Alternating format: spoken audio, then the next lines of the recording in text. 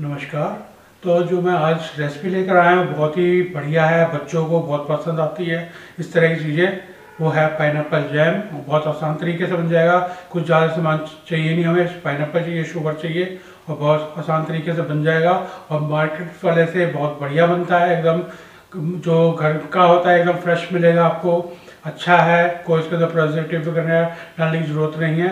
और वो भी आपका, अगर आप बाहर रखोगे उसको तो कम से कम एक से डेढ़ महीना चल जाएगा। अगर आप उसको फ्रिज में स्टोर करके रखते हो फ्रिज में रखते हो तो कम से कम चार से पाँच महीने तक आराम से आप स्टोर कर सकते हो। तो चलते हैं, बनाते हैं पाइन जैम आपको मेरे ये पाइन जैम की रेसिपी पसंद आती है तो प्लीज़ वीडियो को लाइक कमेंट शेयर कीजिएगा। चैनल को सब्सक्राइब करना मत भूलिएगा। बेल आइकन को प्रेस कर लीजिएगा जिस समय आने वाली न्यू रेसिपी का नोटिफिकेशन आप सबको मिल सके। तो चलते किस समय बनाते हैं पाइन जैम एक छोटे से इंट्रो के बाद।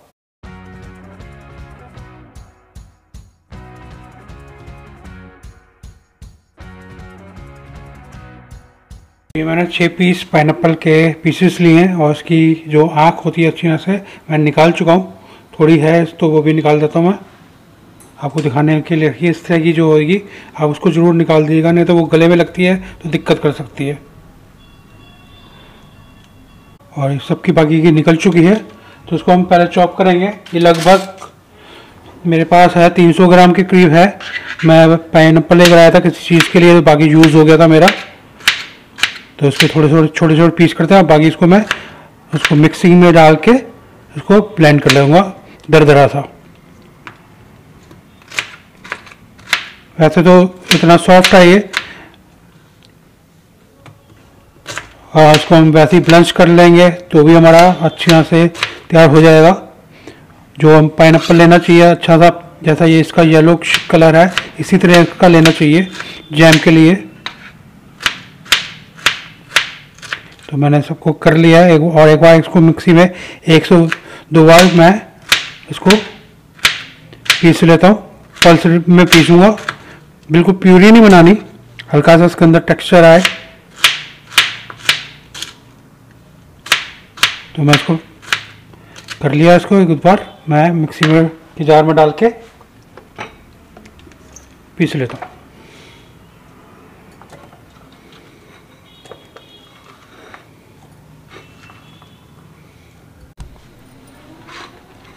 पीस लिया है, ये देखिए, क्या बढ़िया टेक्सचर आया है। इसी तरह का चाहिए। चलते गैस की साइड और उसको तैयार करते हैं। गैस पर रखी मैंने कढ़ाई। गैस ऑन कर दिए। जो हमने पीसा था, अपना पाइन का जो पल्प है, वो डाल देते हैं इसमें। लगातार चलाते हुए पकाएँगे इसको पहले।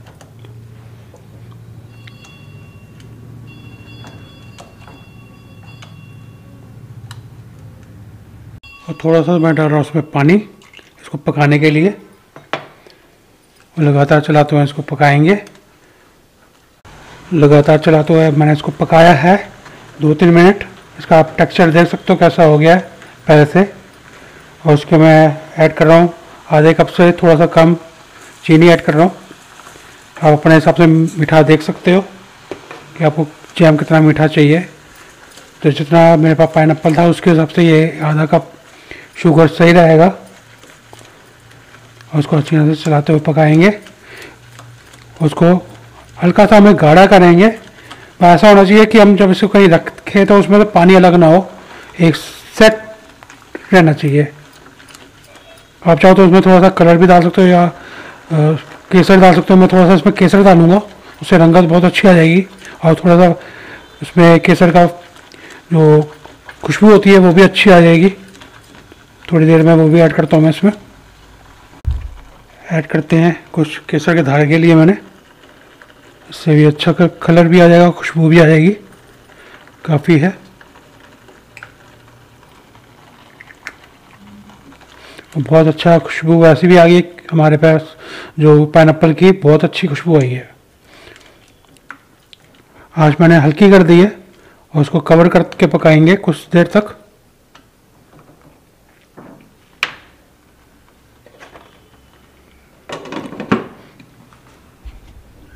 चेक करते हैं। लगभग पाँच मिनट तक उसको मैंने पकाया, ढक के। इसका टेक्सचर देखिए क्या बढ़िया हो चुका है। पूरा जैम वाला। बस उसमें इसके अंदर थोड़ा पानी, हमें पानी सुखाना है। और उसमें मैं ऐड कर रहा हूँ। पिंच भर मैंने सॉल्ट लिया है। बस हल्का सा टच आना चाहिए, नमकीन का। मिठास के अंदर थोड़ा बैलेंस करता है। बस एक दो मिनट इसका पानी सुखाते हैं हम और उसको फिर ठंडा करेंगे। और उसको फिर एयर टाइट कंटेनर में डाल के आप स्टोर करके रख सकते हो। ब्रेड वगैरह पे लगा के एंजॉय कीजिए। बच्चों को टिफ़िन बॉक्स में सैंडविच बना के भेजिए। पाइन सैंडविच जैम सैंडविच अगर आपके पास मलाई है तो मलाई एक पीस मलाई लगाइए, एक पीस पे ये जैम लगाइए और उसको ट्राई कीजिए। बहुत बढ़िया फ्लेवर आता है। ऐसा लगेगा कि आप पाइन पेस्ट्री खा रहे हैं। बचपन में हम ऐसे ही करा करते थे। जैम आया करता था। हम मलाई उतार लेते थे दूध में से। पीस पे लगाई। और एक पीस पे जैम लगाते थे और खाते थे। अगर जैम नहीं होता था, मलाई के ऊपर ही थोड़ा सा चीनी डाल के खाते थे, वो भी बहुत टेस्टी लगता था। लीजिए, देखते देखते हमारा जैम भी रेडी हो गया गैस ऑफ़ करते हैं और उसको ठंडा होने देते हैं। इससे हम ज़्यादा गाढ़ा कर देंगे तो जैम की जगह ये फिर पापड़ बन जाएगा। पापड़ नहीं बनाना हमें। अब दिखा देता हूँ कैसे होना चाहिए। इस तरह से होना चाहिए, जैसे ये है। अभी गर्म है, थोड़ा ठंडा होगा तो और सेट हो जाएगा। तो इसको ठंडा करते हैं, फिर हम इसको ब्रेड पे भी लगा के दिखाएँगे आपको। तो आइए डालते हैं। हमारा जैम थोड़ा ठंडा हो गया है। एयर टाइट जार के अंदर। क्या बढ़िया टेक्सचर आया है।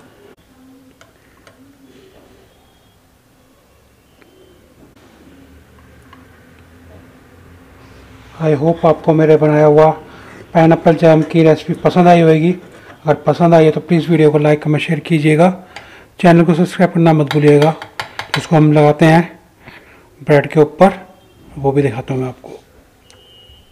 लगाते हैं जैम अपने पीस पर ये मैंने टोस्ट लिए थे, इसको मैंने हल्के से घी क्यू लगा के तवे पे सेक लिया है। अखबार टोस्टर है तो आप टोस्टर पे भी इसको कर सकते हो।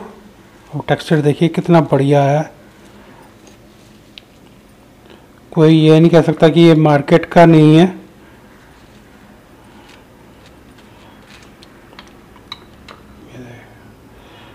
बढ़िया टेक्सचर एकदम। बच्चे तो खूब लगा लगा के खाएँगे। और सर्व करते हैं इसको चाय के साथ फटाफट। गर्मा गर्म टोस्ट और चाय।